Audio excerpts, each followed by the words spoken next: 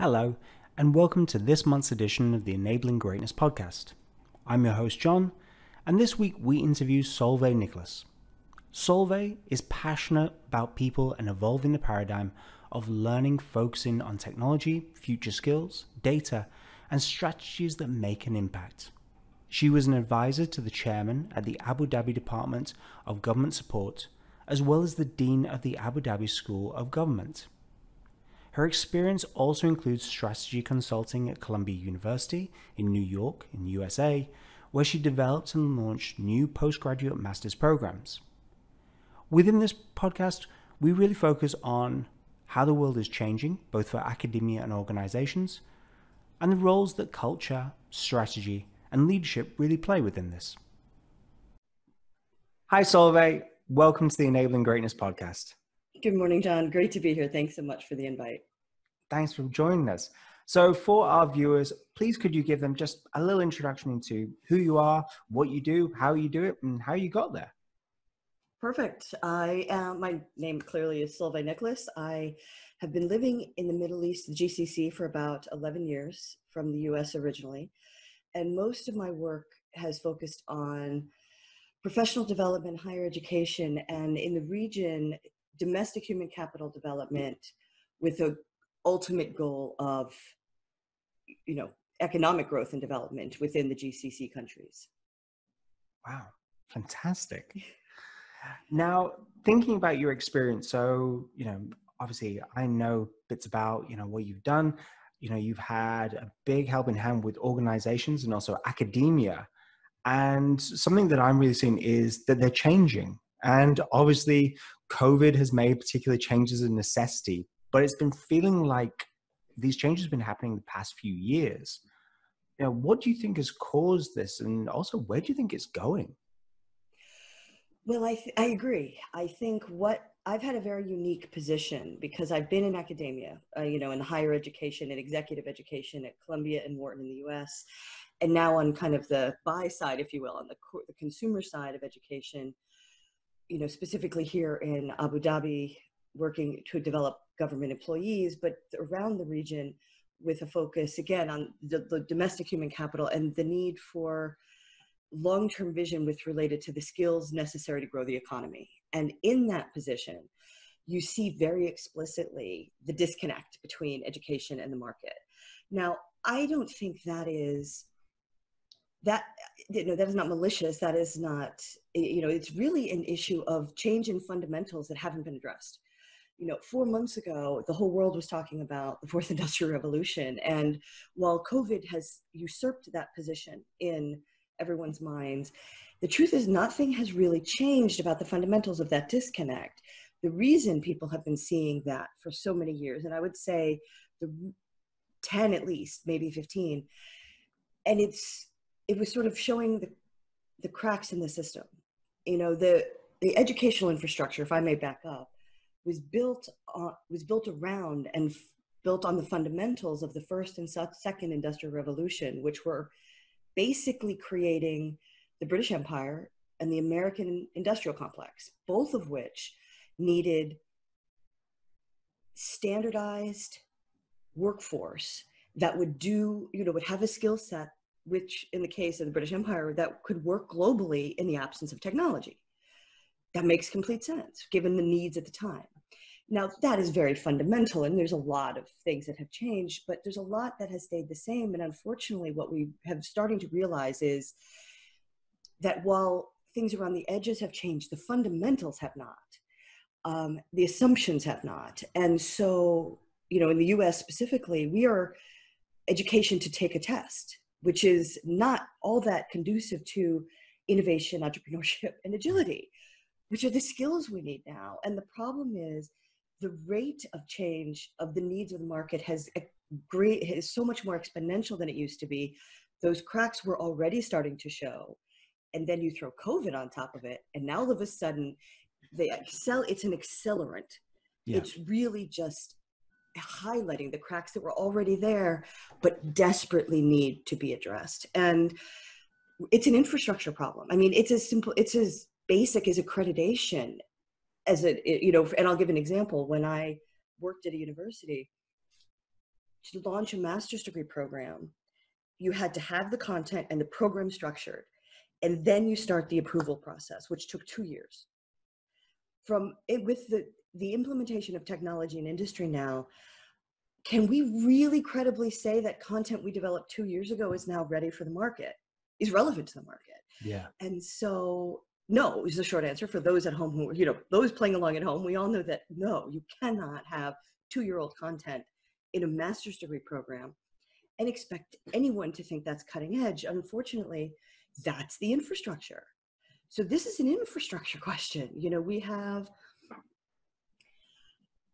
you know, we, you what you're starting to see, especially in the emerging markets, is an adoption and an acceptance of professional certifications because they change more rapidly. They're industry relevant, and unlike degrees, which have been the you know the the currency of education, a, a certification, you know, an ACCA accounting certification is globally the same. It is actually proof of mastery of skill. Mm. And that is what industry is looking for versus a lot of degrees, which are very disconnected from market needs. Now, I am a huge proponent of liberal arts education. I think learning for the sake of it is important, but I think the disconnect from the consumer is growing very rapidly. And we're at a massive inflection point in education. Yeah, I mean that's such a great insight and so valuable. You know, really thinking about, you know, what have we been doing? It's for the vast majority of cases not relevant. You know, time changes a lot of things, mm-hmm. and I think you know, especially with organizations, you know, when we talk about change, obviously when change comes, there needs to be a change in culture because your mm-hmm. culture is your organization. I mean, how would you see organizations shifting to kind of meet these changes that are coming?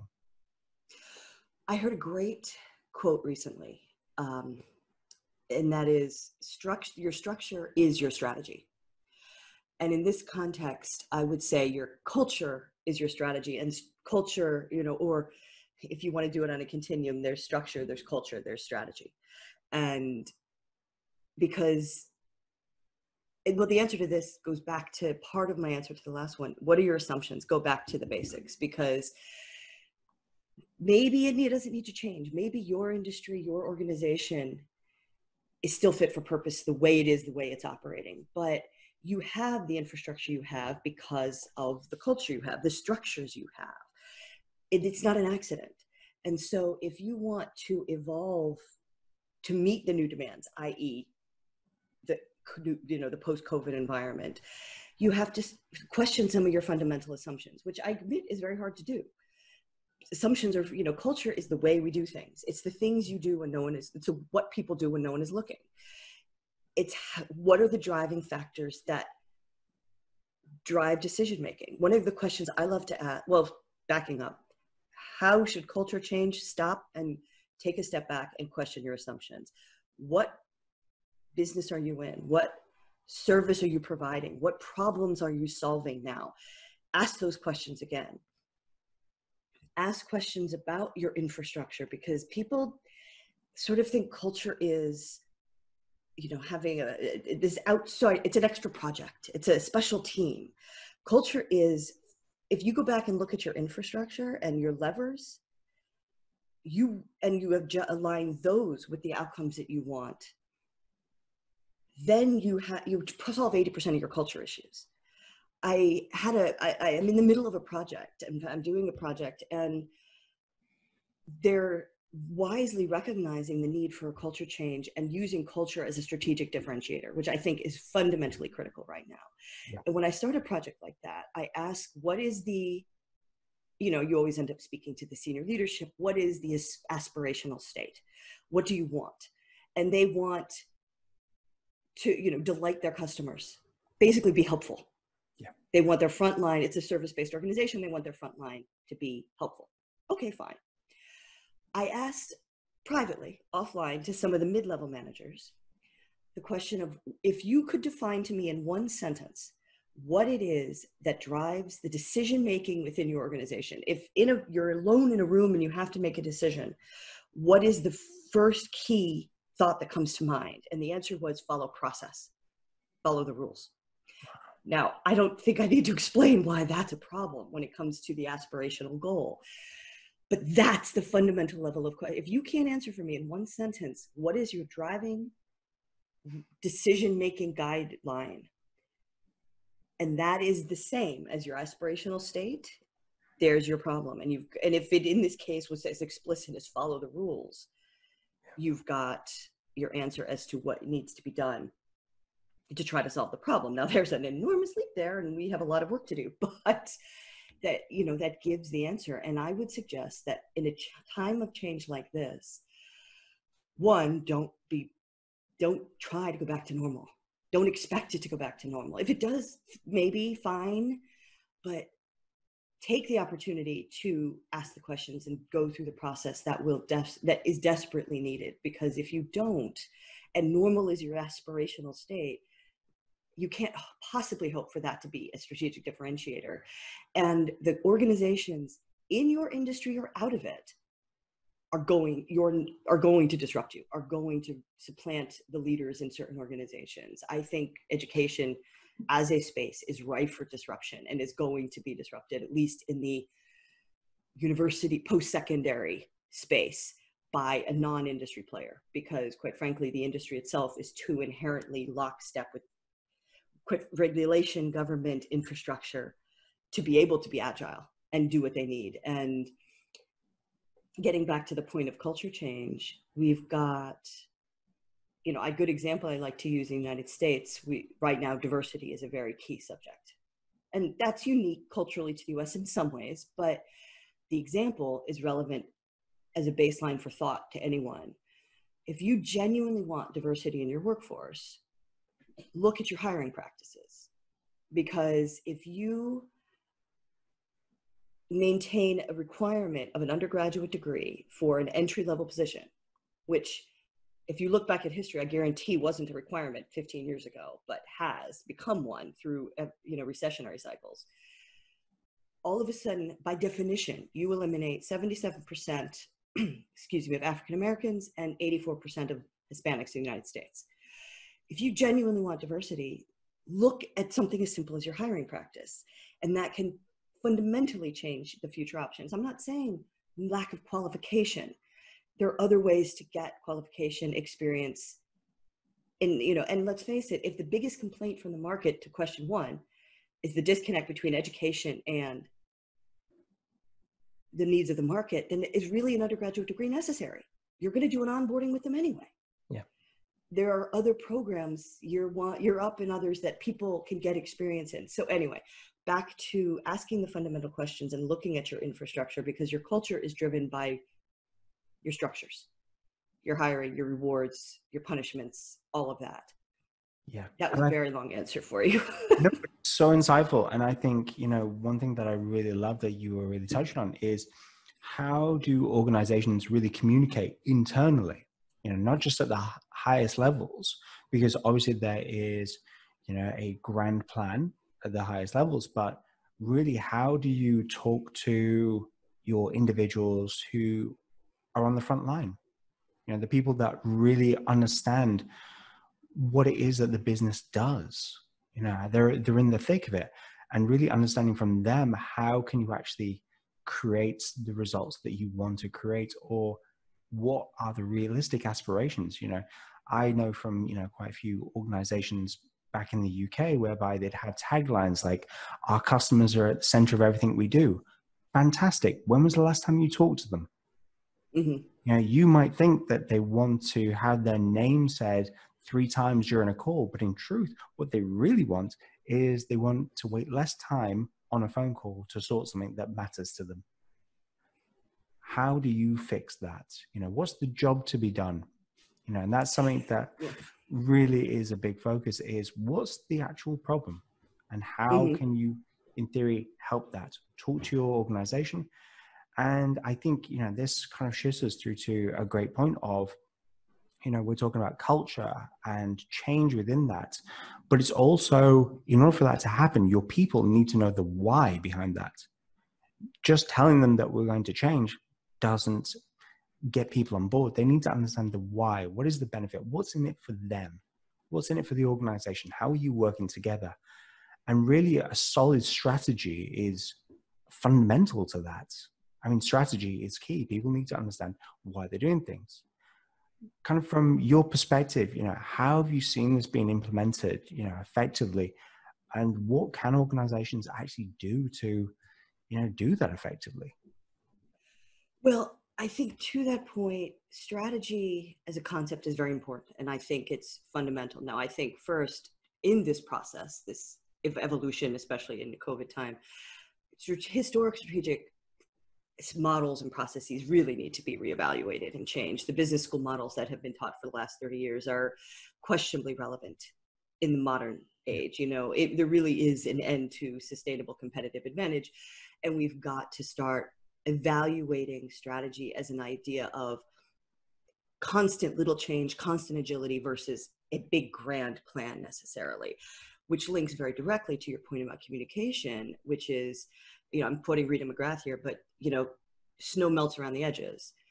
What you need to know in your industry for your organization is from your customers is at the eh, the farthest point from the ceo basically because it's at the frontline staff it's at the customer you know the customer service level. So yes there does need to be a communication mechanism.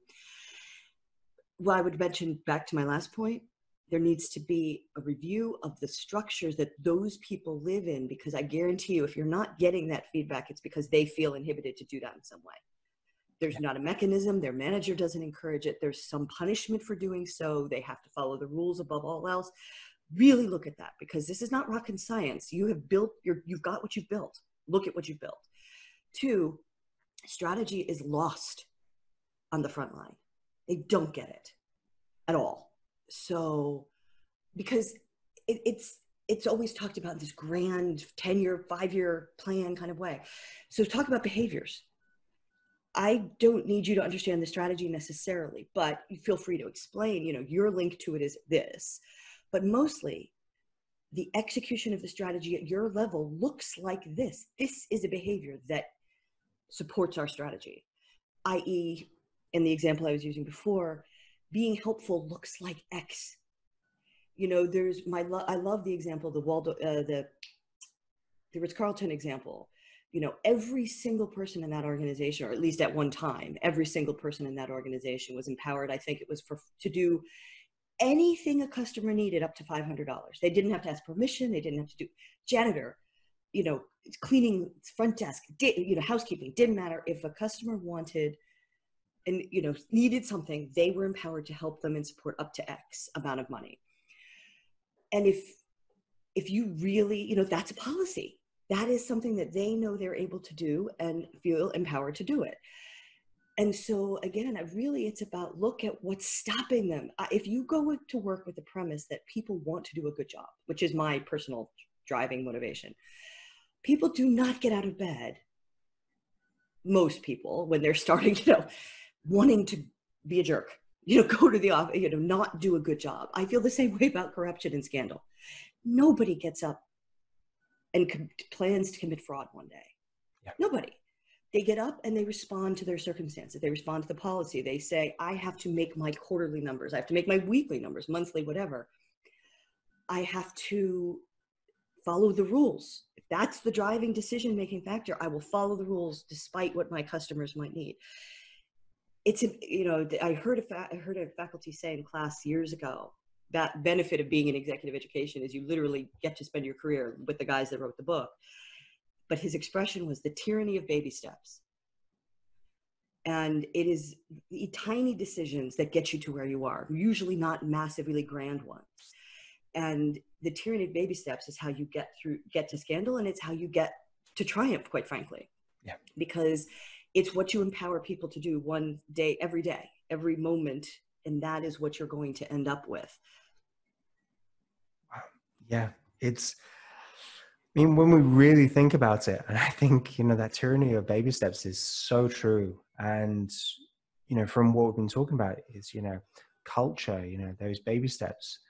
You know, how is it that people can be negatively impacted with those baby steps? Is it that you have a policy in place that just just irks people a particular way. Let's say, for example, you know, you have a sickness policy whereby if people are away for X amount of days, they have to be put on a contract. You know, unfortunately, people get ill. You know, we are fallible as human beings. It's what happens. And then putting somebody on a contract for that, it's just going to put a bitter taste in their mouth or making them do things that don't make sense and they haven't been listened to. I mean, when you know we kind of boil these down, you know, leadership has such a crucial part in all of this. They have that, you know, culture. They have that strategy. That's really where they're pushing. And you know, what do you kind of feel is the key components to great leadership really moving forward?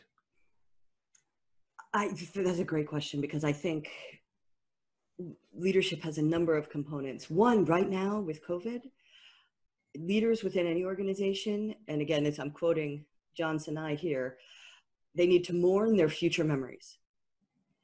It, they're literally, we have to allow people mm, frequently at leadership, but mid to up, what did they plan to do this year? What did they plan to do next year? The estimates that the U.S. recover economy won't recover for till 2030.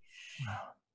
Again, there is no back to normal. So if we think leadership won't have to change through this, we're being incredibly naive. But step one in that, mourn your future memories, mourn your plans, mourn what you expected to happen out of all of this. You know, where you expected to be, what job you expected to have, what outcomes you wanted. Get get over it. You know, to really old cliche and the cheese has moved. Like this is just not going to look like we expected it to for a very long time. So I would tell the leaders to take a moment, stop, and accept just you don't know what's going to happen. Nobody knows what's going to happen. And what you planned is the only thing we know is not definitely not going to happen. And then to your next point start asking the right questions and start listening. Leadership i think culturally we have mistaken leadership with answers with decision making with do this with directives and if ever there was a time for that to not be appropriate, it's now. Now, do we need leaders to ultimately make a decision? Of course.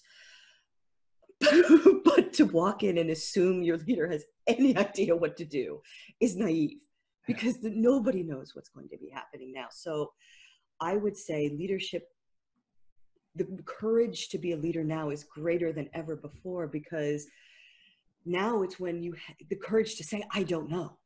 Let's figure this out together. This is still the goal. Maybe maybe not. Maybe reevaluate the goal but this is the how are we going to get there? But there's never been a better time to do to ch- to ask the questions. Who's going to who's going to question you for asking the questions at this point? Who's going to say no don't go back to the fundamentals don't evaluate the market don't take the changes that have happened it's perfect it is an opportunity leaders have never had before to say, you know what?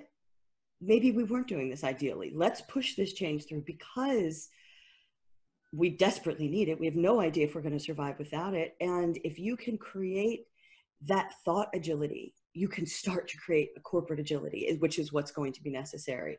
You know, the structure, the dogmatic commitment to what you've always done is the sure best way to fail post COVID because somebody is going to be coming in to disrupt what you, your company, your industry is doing. Yeah. And it really is, I think it's embracing change because, you know, we have seen there have been so many industries that thought that they were untouchable, you know, taxis. Then Uber came along, yeah.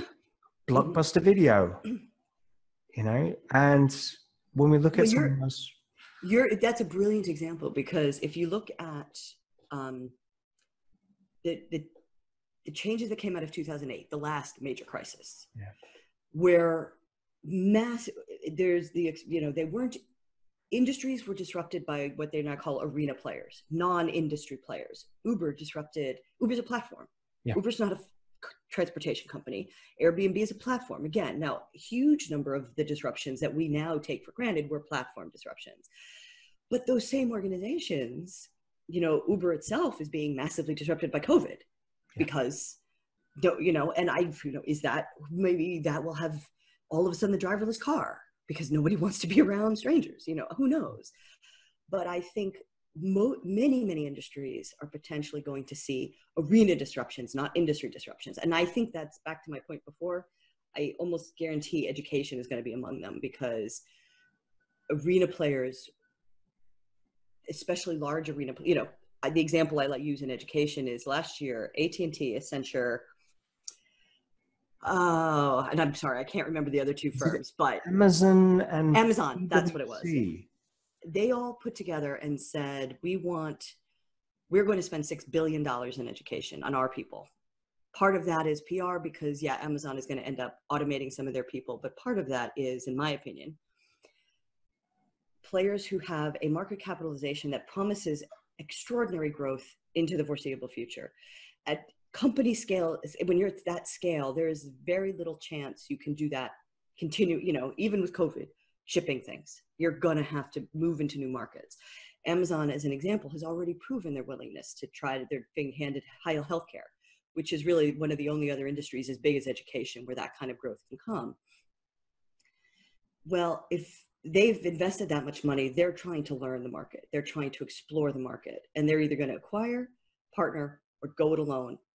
My guess is in some form of the education sector to disrupt it for the players that are already there. And they've got the platform, they've got the technology. I don't think it's a big stretch to think they might try that. Will it be them? Who knows? I'm not, you know, laying a bet on that, but I am saying that arena players, non-industry players, are where people need to worry and where very few people spend their time looking. So at a time like this, when leadership is challenged, culture is challenged, it is the time to look at your model, question your assumptions, and back to the core of my, you know, my heart, my my background. Make sure your people know how the, the skills, train them on the skills necessary to be ready for whatever's coming next. You know, it's not you can't you know expect a radical shift like that and think people are just going to organically figure it out you do need to sh- put a structure in place that allows them to do that but it starts at the top and the recognition that the leaders now don't know what's coming either and they've got to reevaluate and upskill themselves yeah i think that's some absolutely incredible points and i think you know kind of joining on with that arena players you know when we think about disruption and the way that people have changed and we've changed our habits and how culture like just country people cultures have changed you know normalizing things. So airbnb staying at somebody else's house. Pre airbnb that sounded like madness. But the more it becomes normalized and the more that an arena player gets into education that normalizes that online education is you know there. It is able to be utilized the benefits of that.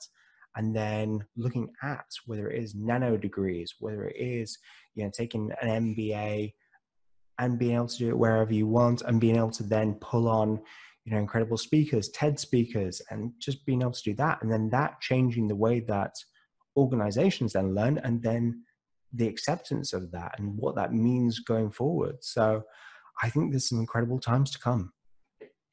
I agree. And I think there'll be a dual backlash after this whole experience because I think for many people, they were thrown into you know online learning, remote learning, in the worst possible way. Let's face it. This is a if you want a good learner experience, that takes design, that takes planning in a, in a remote technology enabled environment. It can be done, but it, it takes a lot of skill on the behalf of the facilitator. It takes instructional design. It takes thought about the process, which is mo- most people did not have the time to do. Now, there are some tremendous heroes who have killed themselves to make this as good as possible. But let's face it, the learning experience for an enormous number of students hasn't been ideal. Having said that, what I think we, we're never going to walk back from is the idea of technology enabled learning. Some of it can be remote, some of it can be face to face. And it can be, to your point, it must be more granular. It has to be to the need of the individual. Now, I tend to focus on tertiary and professional education, but be- individuals need to find what they need when they need to know it. Not only because, you know, we shouldn't be learning to test. We shouldn't, you know, are you going to memorize certain things? Of course, but things are changing too rapidly. We've known doctors have known this forever. Doctors are required to keep their skills current every single year. And thank God for all of us that they do. Yeah. why the rest of us don't do that is a mystery to me because especially now every industry is rapidly changing so we now have to change the ethos the culture as individuals as organizations and as countries to say learning has to be ongoing really lifetime not just paying lip service to it yeah. at the point of need almost because let's face it most people don't do knowledge transfer particularly well they learn a concept and then they struggle to apply it because they just don't see the direct connection and so we have got to find a way to make, you know, through technology in many cases, to enable people to access that information in real time.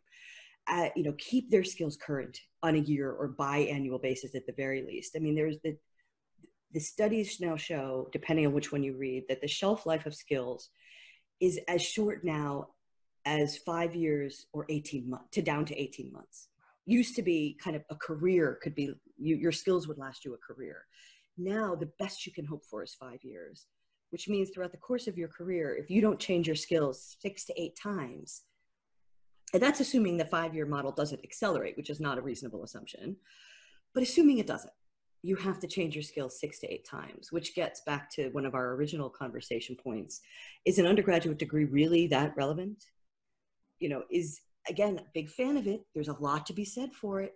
But is that a requirement 20 years in? After you've been in the market, you know, I use, you've heard me use this example before. If, like me, you have an undergraduate bachelor's degree in marketing pre social media, yeah. of what value is that?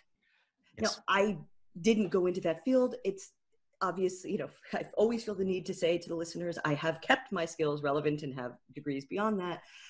But be realistic. If you're interviewing someone 20 years into their career for a job that they have done for 20 years, do you need them to have an undergraduate degree? Or have they kept themselves relevant to the market? Is it really just a check the box exercise? And so I say we look at nano credentials, we look at continuous learning, technology enabled learning, and our culture of learning within an organization. And if that's not there, you have a much bigger problem because your people will be out of date very rapidly. Yeah. Wow. Some incredible points. Wonderful. Thank you ever so much for joining us.